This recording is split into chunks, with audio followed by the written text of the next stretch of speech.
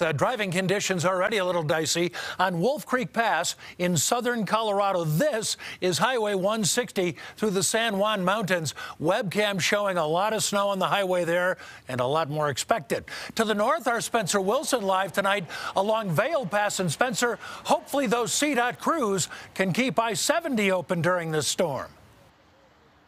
Jim, I was all ready to tell you guys that the roads up here looked okay, just a little wet, but just within the last 20 minutes or so, snow is starting to stick on these pieces, and CDOT plows are coming through and cleaning things up, trying to make it the best. Meanwhile, we've got these plow crews sitting up on top of the hill, just waiting for any issues that might happen as drivers start to make their way through this rougher condition. Now, we have already seen multitudes of these trucks just waiting at the top of the pass to see those cars in the event they get in a problem. They believe this storm is going to be one of the biggest we get this season.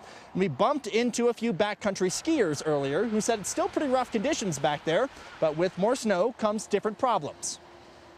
And it's getting more exciting. We're happy to see it, um, but heavy conditions are getting rougher and tougher.